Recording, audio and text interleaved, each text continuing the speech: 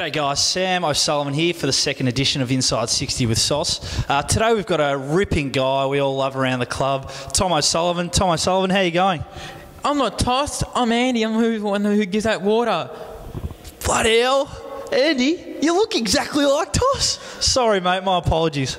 G'day guys, apologies for that. Um, I've actually come across the real Tom O'Sullivan. Tom O'Sullivan is my cousin. Uh, welcome to the show, Toss. Uh, thanks for having me, Sam. Now, Toss, obviously you've got a ripping, ripping pedigree and a ripping, you know, family history and, and a ripping last surname.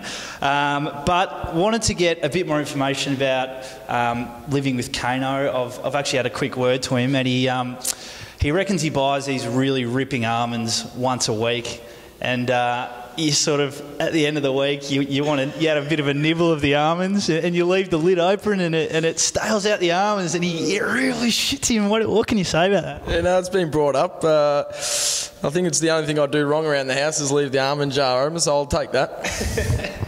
Oh, Kana, very precious and very nippy.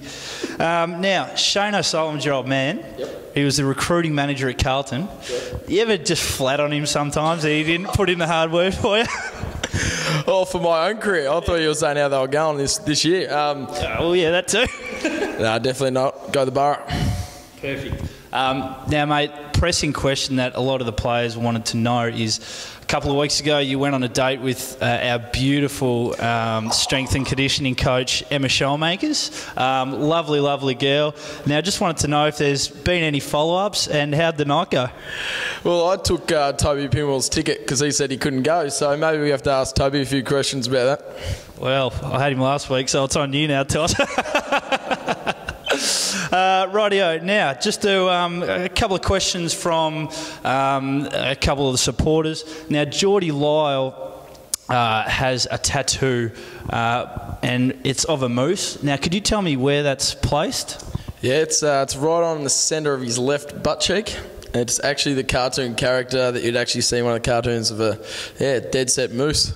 Fantastic. Now, um, a guy by the name of Willie Johnson, and there was actually another couple of blokes that were asking, they said you have a massive infatuation with Geordie and his ass. Can you c- confirm or deny? Well, he's he's the golden boy. He's going to win us the flag this year, so I've got to get around him. You going to confirm? Yeah, I'll confirm it. Yeah. man love, never, never hurt anyone. A bit of man love, never heard anyone. All right, guys, thanks very much for that. Um, and this is the second edition of Inside 60 with Sauce. Um, apologies for Andy, but uh, we found the right uh, culprit. Thanks very much.